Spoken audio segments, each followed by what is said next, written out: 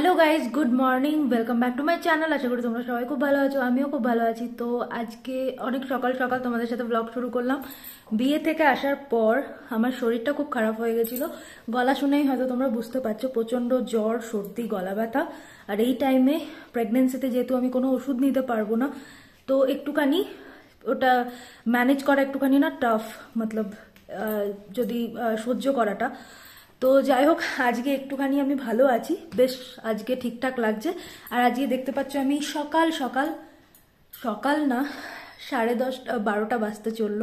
তো তার আগে আমি আজকে চান ঠান করে রেডি হয়ে গেছি, কেন কি আজকে যাব ডক্টরের কাছে মানে আমার প্রেগনেন্সির জন্য। তো চলো রেডি হব এখন, চান টান করে চলে এসেছি। রেডি হয়ে একটুখানি লাঞ্চ করে বেরিয়ে যাব। তো চলো ব্লগটাকে শুরু করে দিচ্ছি, প্রথম থেকে শেষ অবধি দেখো, আশা করি তোমাদের ভালো লাগবে। আর হ্যাঁ আরেকটা কথা আছে, এই যে আমার গলায় এটা দেখতে পাচ্ছ? তো দেখো এটা, এই মাদুলি ঠাদুলি নিয়ে না এইটা আমি নিয়েছি আমি নিয়েছি মানে স্নেহিল গিফট করেছে আর কি। তো এটা নিয়েছি অ্যানিভার্সারি স্পেশাল এখানে একটা করে সোনার বল আছে আর ব্ল্যাক বল আছে, মঙ্গলসূত্র। আমার খুব শখ মঙ্গলসূত্রের। তো কীরকম হয়েছে? অবশ্যই আমাকে জানাবে। তো চলো ফটাফট রেডি হয়ে নিই তারপরে তোমাদের সাথে আসছি। তো চলো। তো দেখতে পাচ্ছ আমি নিয়ে নিয়েছি ভাত তার সাথে ঘি বেশি করে আর হচ্ছে জিরে আর শুকনো লঙ্কা ভেজে যে আলু সেদ্ধটা হয় ওটা আর মুসুরির ডাল টমেটো আর ধনে পাতা দিয়ে।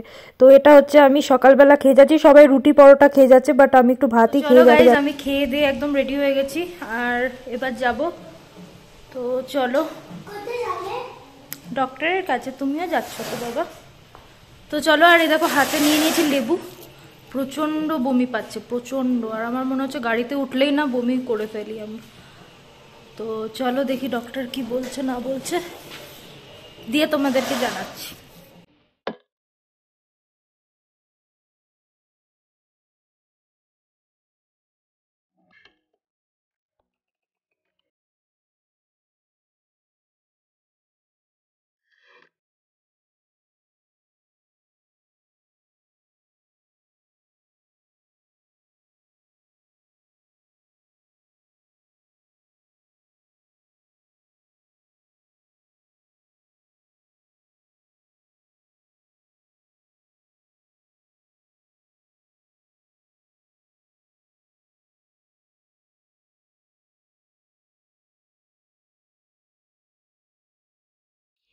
গাইজ এখনই জাস্ট ডক্টর দেখানো হলো।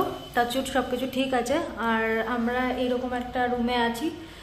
তো আমাদের দুজনাকেই দেওয়া হয়েছে টিটেনাস তো ওকে ইঞ্জেকশন দেওয়া হয়েছে, আমাকে টিটেনাস দেওয়া হয়েছে। তো এরপরে যাব বাড়ি। একটুখানি এর জন্য আমরা ওয়েট করছি। তো তারপরে ঘরের দিকে রওনা হব। আর আজকে তাড়াতাড়ি দেখানো হয়ে গেছে। তো চলো ঘরে পৌঁছে তোমাদের সাথে আবার কথা বলছি।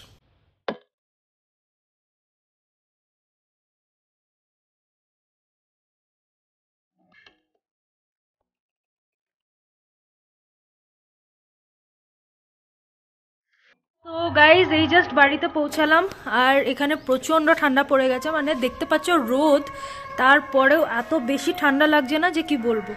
তো এরপরেও শল নিতে হবে, কেন কি এই টাইমে অলরেডি আমার ঠান্ডা লেগে আছে।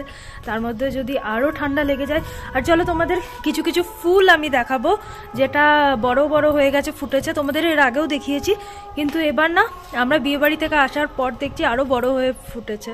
তো চলো তোমাদের সাথে একটু শেয়ার করি। তো দেখো গাইজ এত বড় বড় ফুল ফুটেছে, আর আমরা যখন গেছিলাম, তখন সবগুলোতে কুড়ি ছিল। তো বিয়ে বাড়ি থেকে আসার পর দেখছি কি পুরো বড় বড় একদম ফুটে উঠেছে আর এটাই শীতকালের সৌন্দর্য, যখন ফুলগুলো ফোটে।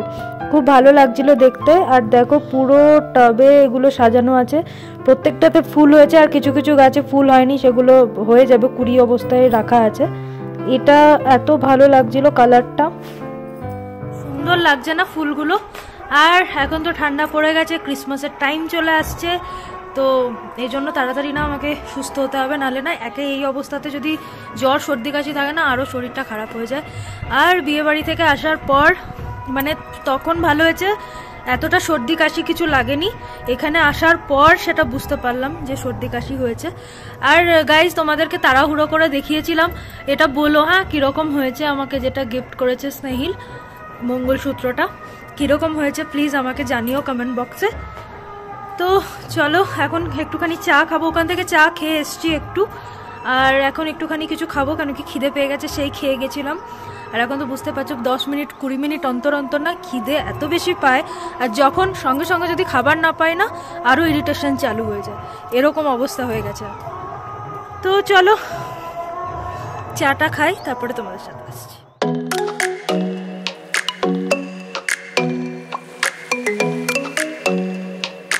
আর গাইজ তোমাদের আরেকটা জিনিস দেখাচ্ছি, এটা হচ্ছে আমাদের জমির অরোহর ডাল, যেটা এখানে তুয়ার ডাল বলে বাট অরোহর ডাল বললে তোমরা নিশ্চয়ই বুঝতে পারছ কোন ডালটা।